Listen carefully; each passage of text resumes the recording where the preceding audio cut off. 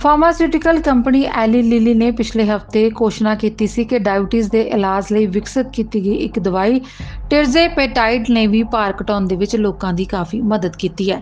ਇੱਕ ਅਧਿਐਨ ਵਿੱਚ ਮੋਟਾਪੇ ਅਤੇ ਡਾਇਬੀਟੀਜ਼ ਵਾਲੇ 900 ਤੋਂ ਵੱਧ ਅਡਲਟਸ ਦੇ ਵਿੱਚ ਟਿਰਜ਼ੇਪੇਟਾਈਡ ਨੇ ਨਾ ਸਿਰਫ ਉਹਨਾਂ ਦੇ ਬਲੱਡ ਸ਼ੂਗਰ ਨੂੰ ਕੰਟਰੋਲ ਕੀਤਾ ਹੈ, ਬਲਕਿ ਵੱਧ ਖਾਣ ਵਾਲਿਆਂ ਨੂੰ ਔਸਤਨ 34 ਪਾਉਂਡ ਭਾਰ ਘੱਟ ਕਰਨ ਦੇ ਵਿੱਚ ਵੀ ਮਦਦ ਕੀਤੀ ਹੈ, ਜੋ ਉਹਨਾਂ ਦੇ ਸ਼ੁਰੂਆਤੀ ਭਾਰ ਦਾ ਲਗਭਗ 16% ਸੀ।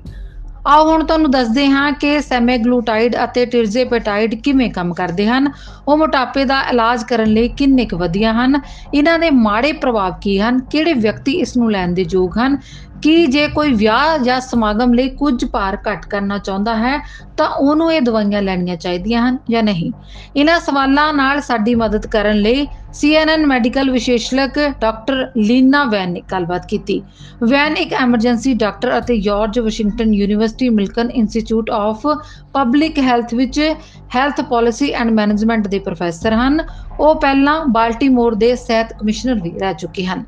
ਪਹਿਲੇ ਸਵਾਲ ਵਿੱਚ ਉਹਨਾਂ ਤੋਂ ਪੁੱਛਿਆ ਗਿਆ ਕਿ ਟਿਰਜ਼ੇਪੇਟਾਈਡ ਅਤੇ ਸੈਮੀਗਲੂਟਾਈਡ ਵਰਗੀਆਂ ਦਵਾਈਆਂ ਕਿਵੇਂ ਕੰਮ ਕਰਦੀਆਂ ਹਨ? ਤਾਂ ਡਾਕਟਰ ਲੀਨਾ ਵੈਨ ਨੇ ਦੱਸਿਆ ਹੈ ਕਿ ਇਹ ਦੋਵੇਂ ਇੰਜੈਕਸ਼ਨ ਦਵਾਈਆਂ ਸ਼ੁਰੂ ਵਿੱਚ ਟਾਈਪ 2 ਡਾਇਬਟੀਜ਼ ਦੇ ਇਲਾਜ ਲਈ ਵਿਕਸਿਤ ਕੀਤੀਆਂ ਗਈਆਂ ਸਨ।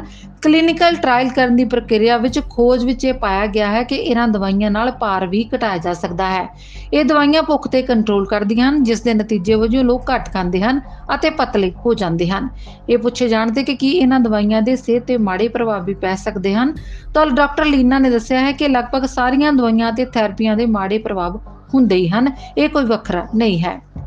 ਜਦੋਂ ਇਹ ਪੁੱਛਿਆ ਗਿਆ ਕਿ ਕੌਣ-ਕੌਣ ਇਹਨਾਂ ਦਵਾਈਆਂ ਨੂੰ ਲੈ ਸਕਦਾ ਹੈ, ਤਾਂ ਡਾਕਟਰ ਲੀਨਾ ਨੇ ਦੱਸਿਆ ਹੈ ਕਿ ਜਿਹੜੇ ਮਰੀਜ਼ਾਂ ਦਾ ਬਾਡੀ ਮਾਸ ਇੰਡੈਕਸ ਜਾਣੀ ਕਿ BMI 27 ਜਾਂ ਇਸ ਤੋਂ ਵੱਧ ਹੈ, ਉਹ ਇਹਨਾਂ ਦਵਾਈਆਂ ਨੂੰ ਲੈ ਸਕਦੇ ਹਨ।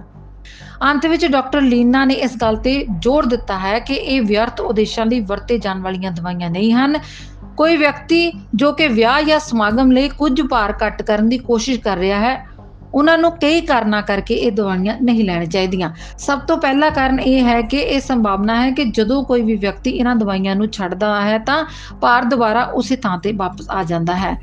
ਦੂਜਾ ਸਭ ਤੋਂ ਵੱਡਾ ਕਾਰਨ ਇਹ ਹੈ ਕਿ ਭਾਰ ਘਟਾਉਣ ਲਈ ਹੋਰ ਵੀ ਵਧੀਆ ਤੇ ਬਿਹਤਰ ਤਰੀਕੇ ਹਨ। ਦਵਾਈ ਵਾਲਾ ਵਿਕਲਪ ਆਖਰੀ ਤੌਰ ਤੇ ਚੁਣਿਆ ਜਾਣਾ ਚਾਹੀਦਾ ਹੈ। ਬਿਊਰੋ ਰਿਪੋਰਟ ਐਨਜਟ ਪੰਜਾਬੀ ਨਿਊਜ਼।